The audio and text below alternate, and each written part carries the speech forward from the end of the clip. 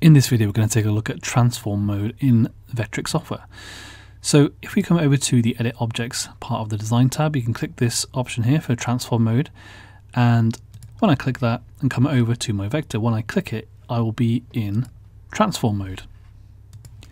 Alternatively, if we hit escape and click off of the vector, you can enter transform mode by clicking on the vector and then clicking on it again you'll notice my cursor is now changed to indicate that I'm in transform mode and I've got access to all the handles around this selected vector.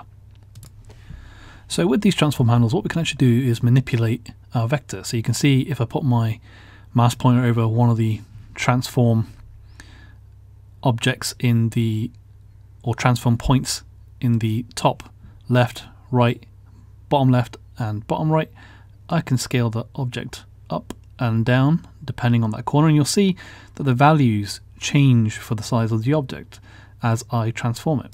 So you can see here we've got a field here and a field here for X and Y and they change as I scale the object. So I can scale it from the corners, I can also scale it up and down as well as left to right so I can scale it in X and in Y. Now you'll notice if I come up to the top right handle here, the transform handle, when I highlight it or click it, I can access these fields. Now I can scale these fields in proportions. If I change one of them, it will affect the other. So for example, if I change this now to 2 and hit enter, you'll notice when I now click on that value, this has changed from 6 to 4. If I change this from 4 to 6 and hit enter, and I click that again, you'll notice this has now changed from 2 to 2.8032. So you can change and manipulate your shape using very precise values by using these fields. What if you only wanted to change it in X or Y? Well, you can click the transform handles that are black on the left, right, top or bottom of this object. And you'll notice now I only have access to the one field. So I can change that to 3 and you notice it gets a little bit wider. And if I click this one at the top here, I can try and make this a little bit taller in the y-axis when I hit 8. Now you'll notice my object has gone slightly off of the worksheet. So if I want to move it, I can just click onto the object and I can just drag it down. You'll notice my cursor changes to indicate that I can move it. So I can move it where I want to on my worksheet. Now you'll notice there's a handle at the top here and this is for rotation. So I can either manually rotate this by clicking it and dragging it and moving it to where I want it to be.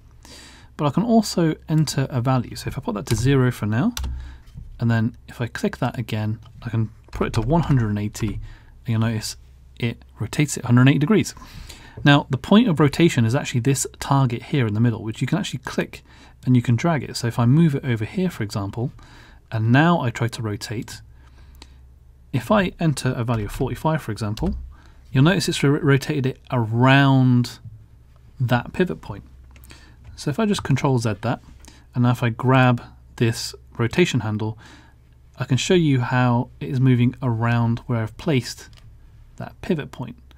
So if I want to put it back into the middle of my object, I can do so and place it there.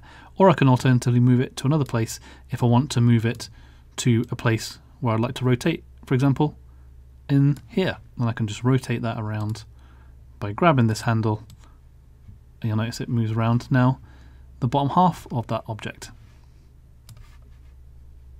And another thing you can do with transform mode is actually you can transform multiple objects. So if I hold shift and left mouse click this object, you'll notice I now get an object bounds box around both objects. So that means when I scale it, it scales both proportionally. And when I rotate it, it will rotate both. And it affects both of these objects now because I have a bound that encapsulates both of the objects that are selected on my worksheet. And again, you can click into the corners or left, top, middle and right and you can adjust these values as needed to affect or transform your objects and that covers our video on how to transform objects so you can rotate, scale and move your objects in Vectric software.